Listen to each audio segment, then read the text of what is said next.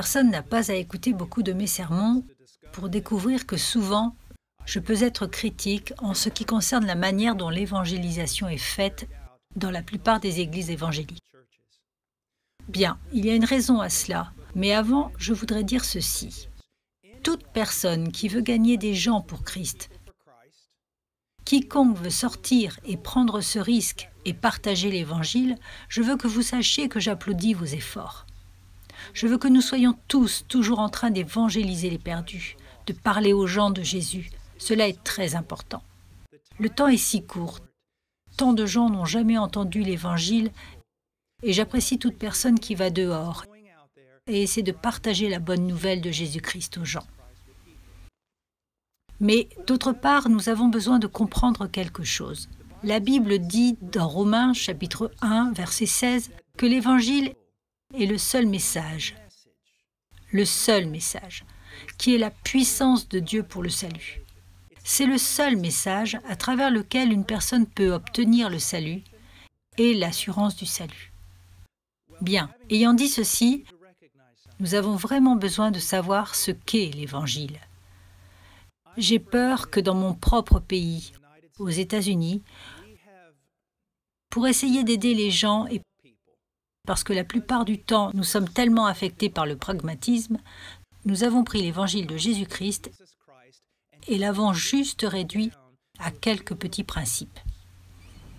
Et puis, si nous pouvons amener une personne à dire qu'elle est d'accord avec ces principes, et prier une prière et demander à Jésus de venir dans son cœur, alors cette personne est sauvée. Et nous leur disons souvent qu'ils sont sauvés parce qu'ils l'ont fait.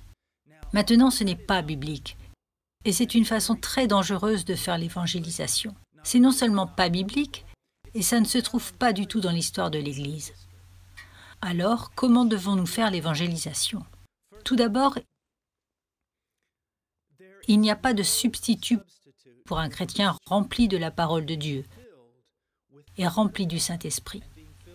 Si nous voulons être utilisés par Dieu pour dire aux autres personnes les grands messages jamais dits, alors nous avons besoin d'être des gens qui renouvelons constamment notre esprit dans les Écritures, des gens qui connaissent la saine doctrine et des gens qui sont habilités par le Saint-Esprit. Maintenant, quand je parle de la puissance du Saint-Esprit, je ne dis pas seulement d'être audacieux, mais aussi de démontrer le fruit de l'Esprit. Il y a beaucoup de gens qui font de l'évangélisation aujourd'hui, en particulier des gens qui prêchent dans la rue. Plusieurs fois, ils filment même ce qu'ils font, et vous pouvez voir qu'ils ont un esprit critique, en colère. Nous devons réaliser que le message que nous avons est une bonne nouvelle, pour apporter une grande joie aux gens. Nous devons donc étudier la parole. Nous avons besoin de vivre une vie de prière. Nous avons besoin d'être remplis du Saint-Esprit. Et plus que tout, nous avons besoin d'être une personne qui est remplie d'amour. D'amour pour le peuple de Dieu, mais aussi de l'amour pour ceux qui peut-être même nous détestent, pour que nous puissions partager l'Évangile avec eux. Maintenant, quand nous arrivons au message de l'Évangile, nous devons bien faire les choses. Nous devons dire aux gens qui est Dieu vraiment, qu'il est juste, qu'il est saint, et que même s'il est aimant, il ne peut pas mettre de côté sa justice ou sa sainteté. Nous devons parler aux hommes à propos de ce qu'ils sont. Non seulement qu'ils pêchent, mais qu'ils sont nés pécheurs et qu'il n'y a absolument rien qu'ils puissent faire eux-mêmes pour être justes devant Dieu. Alors nous devons expliquer ce que Dieu a fait. Et voici ce que je veux que vous voyez.